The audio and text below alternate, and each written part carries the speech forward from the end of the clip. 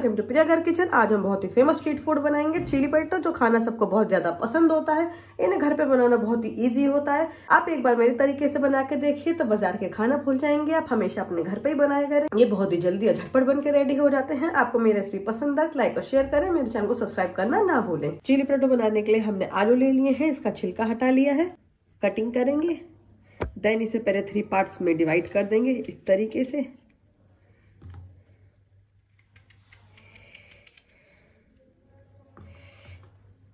सो इसकी कटिंग कर लेते हैं।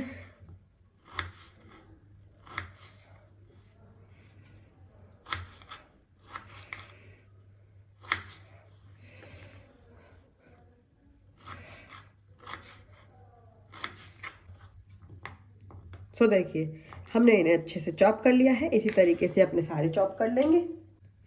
सो देखिए, हमने सभी को चॉप कर लिया है, इसे दो से तीन पानी में अच्छे से हम वॉश कर लेंगे। सो हमने इन्हें अच्छे से वॉश कर लिया है। एक कॉटन के कपड़े से इन्हें अच्छे से पूछ लेंगे ताकि इसमें कोई भी पानी ना रहे। सो इन्हें पोछ लिया है, एक बड़े बाउल में कर लेते हैं। हमने एक बड़ा बाउल ले लिया है, अपने आलू कर लेंगे। एक चौथाई चम्मच नमक या स्वाद अनुसार नमक। Three tablespoon cornflour powder अगर आपके पास कॉर्नफ्लोर पाउडर नहीं है तो आप अरारोट का भी इस्तेमाल कर सकते हैं। हम इसमें कोई भी फ़ूड कलर नहीं ऐड करेंगे। हाफ़ टेबल स्पून देगी मिर्च, इससे हमारे चिली पट्टों का रंग अपने आप ही लाल हो जाएगा। इसे अच्छे से मिक्स कर लेंगे।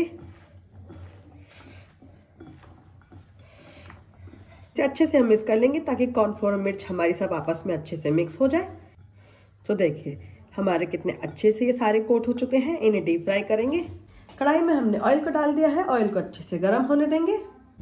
ऑयल हमारा अच्छे से गर्म हो चुका है। अपने आलू डाल देंगे।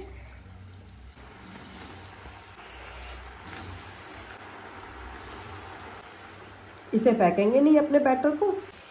इन्हें हमें दो बार फ्राई करना है। गैस की फ्लेम को मीडियम रखेंगे, इन्हें मीडियम फ्लेम पे पहले एक बार फ्राई करेंगे। गैस की फ्लेम को हम हाई कर लेंगे। तो पहली बार में हमें इसे 80 परसेंट फ्राई करना है, पूरा फ्राई नहीं करना है। प्लेट में निकाल लेते हैं।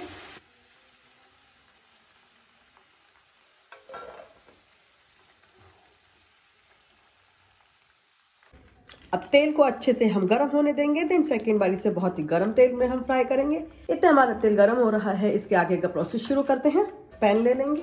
पैन में डालेंगे टू टेबल स्पून ऑयल एक इंच अदरक का टुकड़ा कद्दूकस किया हुआ। दो बारीक हरी मिर्च कटी हुई। दो हरी मिर्च को हमने लंबा चॉप कर लिया है। सॉल्टी कर लेंगे। एक प्याज को हमने स्क्वायर में कट कर लिया है, एक शिमला मिर्च को स्क्वायर में कट कर लिया है, थोड़ी सी पत्ता गोभी ले ली है, हल्का सा सॉल्टी कर लेंगे।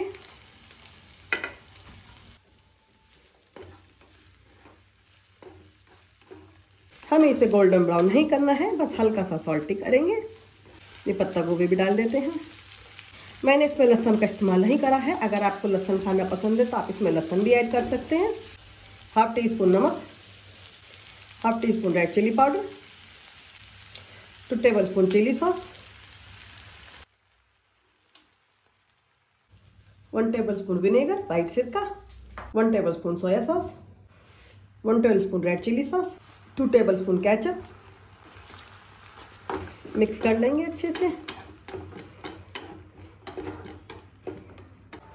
जो हमारा मिक्सचर बचा है इसमें टू टेबल स्पून पानी डाल देंगे। अच्छे से मिक्स करके इसमें डाल देंगे। मिक्स कर देंगे। तो तेल भी हमारा खूब अच्छे से गर्म हो गया है। अपनी चिली पटेटो डाल देंगे।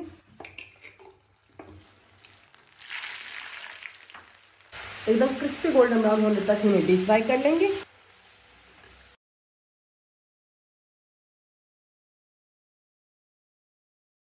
ये कितने अच्छे से क्रिस्पी फ्राई हो गए हैं ना प्लेट में निकाल लेंगे।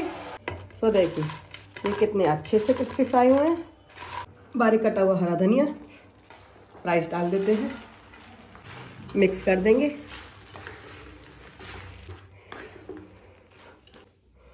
तो देखिए, हमारे चिली पटेटो कितने बढ़िया बने हैं। हमने इसमें कोई फ़ूड कलर का इस्तेमाल नहीं करा है।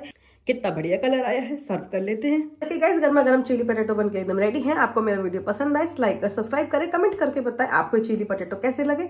Thanks for watching bye